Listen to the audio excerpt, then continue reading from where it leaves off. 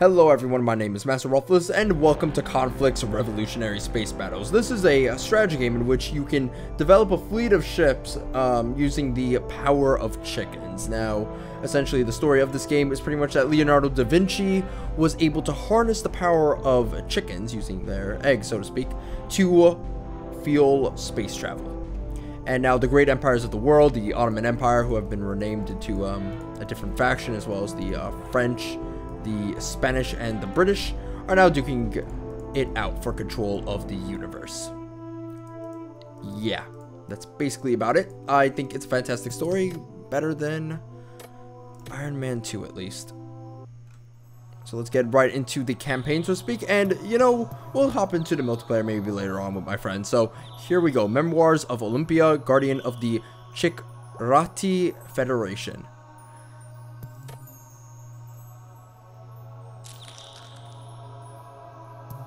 Ah, this is told by um, story of the chickens. Alright, so when it all began, we were nothing but simple laying hens crammed into the factory hen houses of the galaxy, destined to always lay more and more to satisfy the ever-growing metamatter needs of this subspecies of monkeys called Homo sapiens. So pretty much, um, the eggs create a substance called metamatter, which um, fuels the, um, the starships.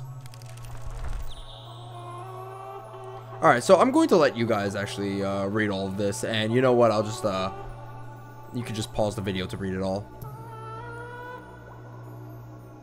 Alright. I do, uh, I do love the artwork. Holy shit, this is, this reminds me of, uh, Christian churches and stuff like that. Or just churches, actually. Christian churches is a little bit redundant. I don't really see Hindus at a, uh, calling their temple a church. Right, so we get to play as Greater Britannia or Greater Britain. I think I think it was Greater Britannia in the trailer. Maybe I'm just retarded. So here we go. We have the Sublime Gate, which are the Ottomans, so to speak. The Sacred Alliance, which are the Spanish. The Celestial Empire, which are the French. And Greater Britain. You know, that sort of stuff. Now let's see.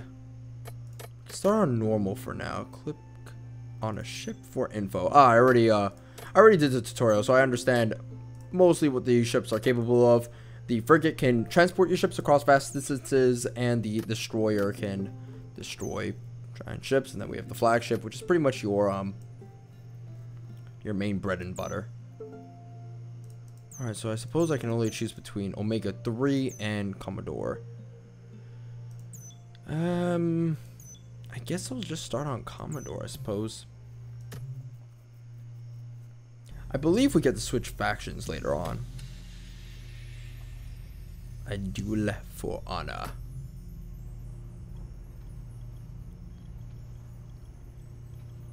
Would have liked it if there was some voice acting. Maybe some over-the-top British accents. Because there were some in the tutorial. Like a owl that had the transplanted, uh, transplanted brain of John Locke. Which was amazing. But got a little bit, I guess, annoying later on.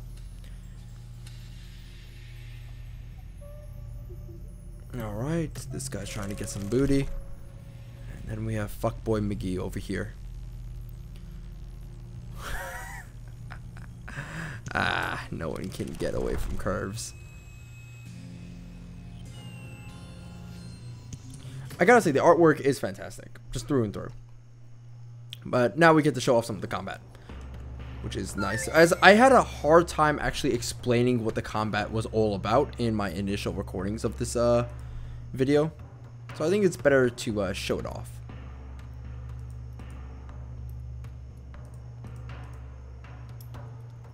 Ah, there it is. Unlucky Locke. This fuckhead. He's basically an owl with the transplanted brain of Locke. This look kind of cool. Alright. Blah, blah, blah, blah, blah. Fully chicken formed, partially chicken formed. A plan contested by your enemy. Yeah, we'll talk about that later. Anyway, it's Conflicks. So pretty much, as you can see, zoomed out, this is the arena. And you have planets that you can fight over, asteroids to avoid, wormholes to um, kind of use as shortcuts, and these platforms over here, or these resupply stations, to use as further jumping points to attack your enemy. Now, basically, in Conflicks, you can move your ships across vast distances with the power of metamatter. And you can um, build ships using metamatter. You can also, as well, uh, just pretty much do everything with metamatter.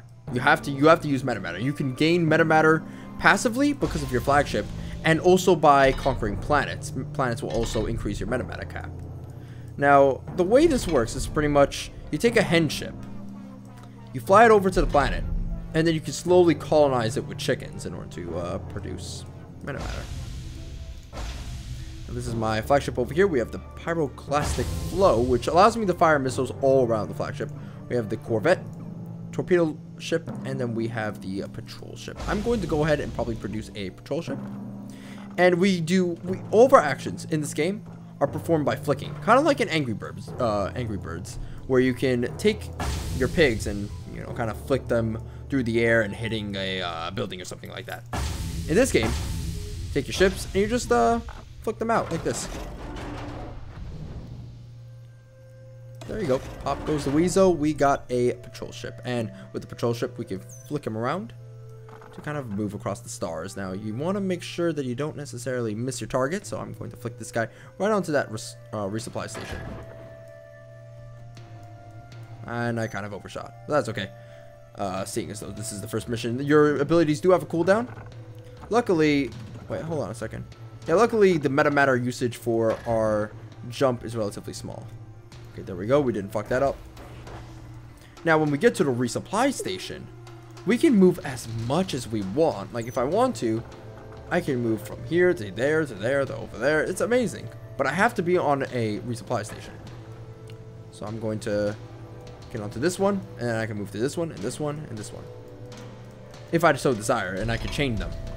But once I get off the resupply station, it's going to cost metamatter. And if I run out of metamatter, well, bad things happen. Also, there's a cooldown as well that you should keep in mind of. Anyway, let's go ahead and produce a Corvette.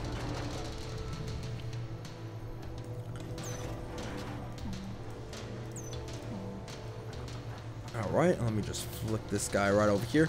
Now, in order to fight your opponents, all you have to do is get right next to your opponents, or if you have an ability that's offensive, you can use that to kill your opponents, or, or, you can ram them into objects, which is really cool. So hold on, maybe I can kind of demonstrate that right now.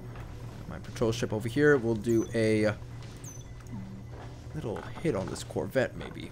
Maybe, actually, no, wait. We don't have a, a good target to hit. See, because I if I hit this guy, he would probably just, like, not hit the planet, which I kind of want. Maybe if I hit from, maybe if I go here and hit this guy, I can make him hit the planet. It's a little bit dicey. Each of the factions has their own special uh, strengths and weaknesses. Fucking hell. Of course I overshot that. This is why I suck at golf.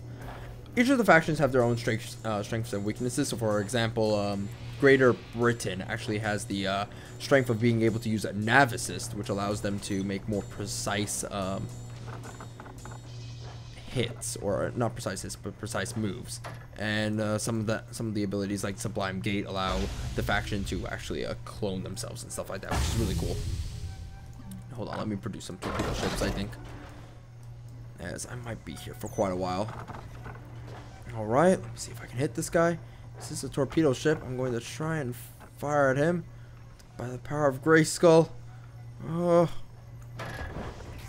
Oh, we got him, but it didn't exactly go through, and we hit the planet. God bless America.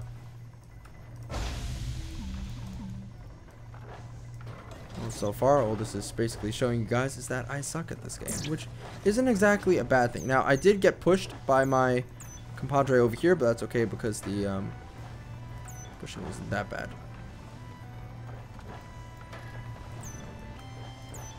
Okay, that guy was um, moving across. But that's okay. I was going to fire a torpedo, but all around we were able to kill that bad guy, which is awesome.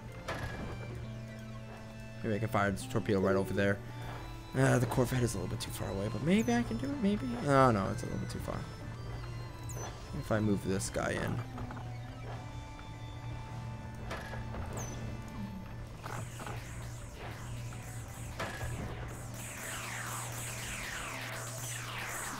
Now this can definitely not miss. Oh, shit. That was too slow. I'm going to move you, actually, right here. Give my ally some backup. I'll push him out of the way, and boom goes the dynamite. You, my friend, need to get back home. We'll build the second one of you.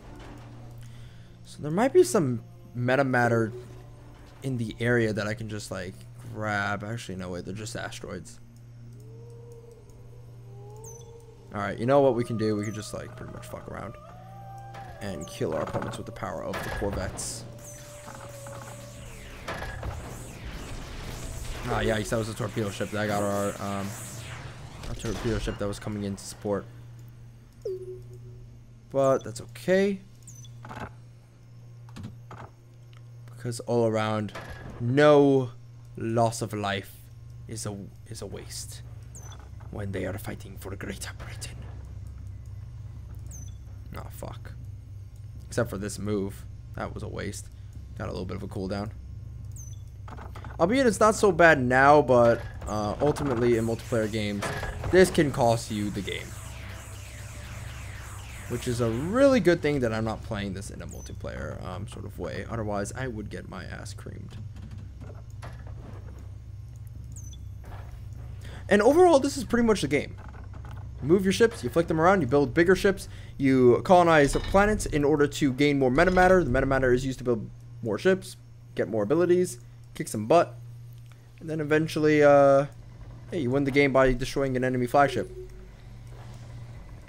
Overall, I gotta say, it's it's way easier to watch than to actually play because I gotta say, I am fucking up big time.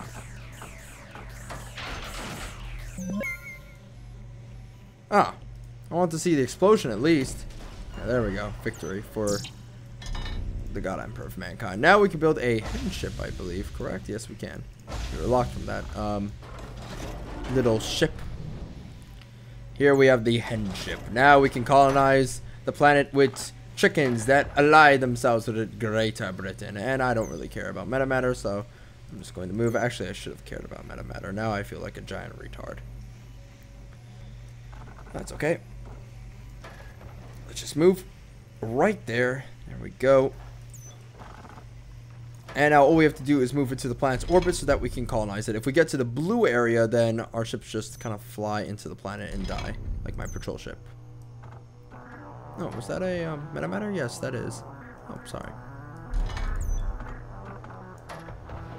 Let's not get too close. There we go. Now we shall colonize the planet with chickens. Look at those chickens. Harvest their nutrients for the blood god. There we go. More metamatter. I mean, maybe I could have, like, reached this re resupply station as well, but I kind of, uh, I'm not really confident in my success with the utilization of this flicking technology. The guy does have a really baller mustache. Alright, let's see if we can build any bigger ships. Could build a uh, flagship if we just wait a little bit. Now, in order for you to essentially gather a bunch of uh, of what was it ships and move them as a contingent or as an army you need to have a frigate and the frigate can tow your ships um, to uh, basically any um, area you want so for example if I want to take my uh, I don't know hen ship and attach it to a frigate then I can move the hen ship with the frigate and it's only going to count my um, frigate's movement and stuff like that oh you picked the wrong flagship to fuck with, buddy. Watch what I just built. I just built the fucking battleship. Ew. Torpedoes are a little bit dangerous, but I can take a, I can take a punch. There is some metamatter there, but I think that's a little bit of a waste. Ah, fuck me. Of course I did that. Oh well, better luck next time, I suppose. Was that a patrol ship? Yeah, that's a patrol ship. Very fast ships. Come on, come on, come on, come on, come on. Please, I'll go back to church. Damn it! Oh, I didn't get fucked. Never mind. You. Actually, let me demonstrate the nav assist. Huh. Maybe it's only for frigates, actually. It might be only for frigates. So maybe I should just use the frigate in order to transport my uh, battleship. Be a better idea. Not really too worried about the flagship over here. Yeah, only the nav assist works on a uh, frigate, which is good.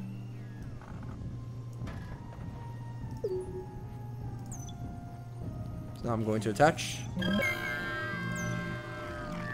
Really? You really think this is gonna work? Yeah, good luck, buddy.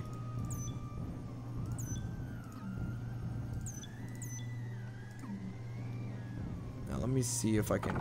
I'm gonna have to flick this guy, I think. Yeah, there we go. Takes a while to get used to, but you're gonna have to flick like basically everything. Alright, got the nav assist working. So now I can move across vast distances with the battleship. Only taking into account the frigate's movement, which is awesome. Frigates move quite far.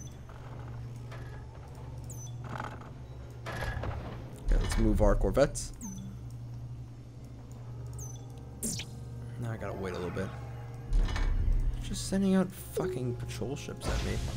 You know what? How about you take my goddamn destroyer in the face? Destroyer has a ton of fucking firepower.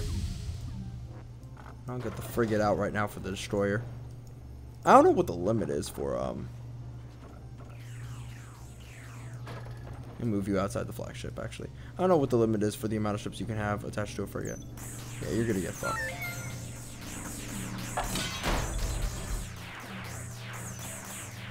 Okay, I need you to... Fuck. This is not kosher. I need you to get out of there. Nah, you couldn't get out of there. Might have been a bad idea. Let's see if it pays off, however.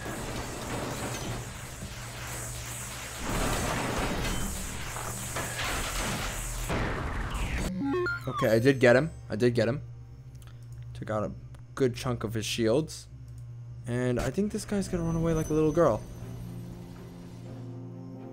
Oh wow, that worked out pretty fast. I mean, I mean, not pretty fast, pretty well for us. All right. Um, it was pretty fast though.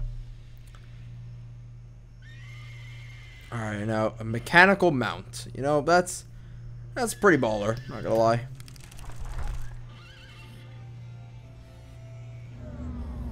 I love the whole setting of this uh this universe actually.